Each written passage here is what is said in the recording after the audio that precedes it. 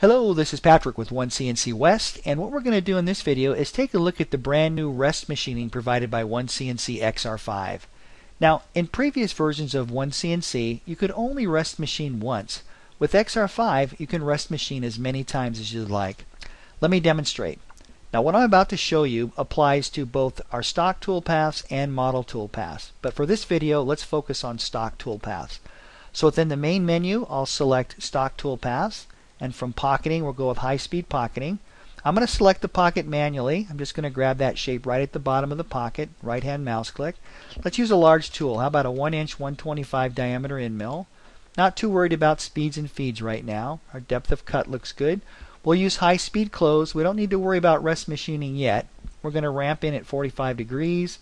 All this looks great. That looks good.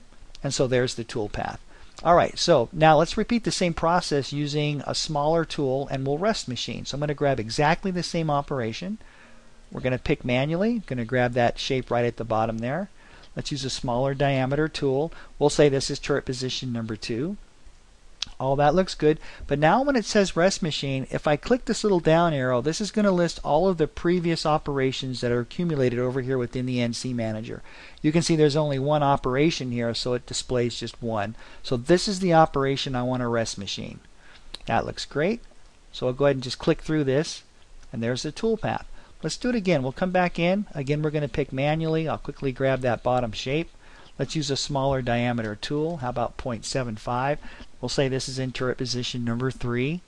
All that looks good. Now we're going to go to rest machine and notice how it lists two operations. And these are the same two operations that are here.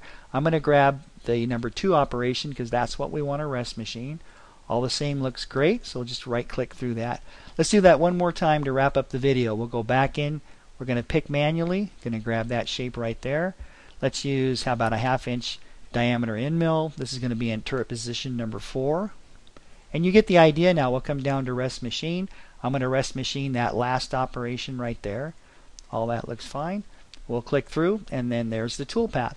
Let's simulate this. We're going to right click up here and we'll select simulate and we're going to pick a boundary. All that looks good. Let's pick this outside boundary right there.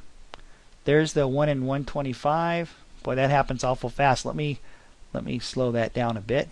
Rewind. So I'm taking just one depth of cut just to speed up the demonstration here, but this is the 1 inch 125 uh, diameter end mill, taking the brunt of the material out. Now we're coming back in with a 1 inch diameter end mill. There's our 0.75 diameter, and then we're going to finish up with a half inch. And you can just keep on going if you'd like. This is the half inch diameter right here. So that's it. Within OneCNC XR5, you can perform uh, multiple rest machining. It applies to both your stock toolpaths and your model toolpaths. Thank you so much for watching, and I look forward to seeing you in the next video.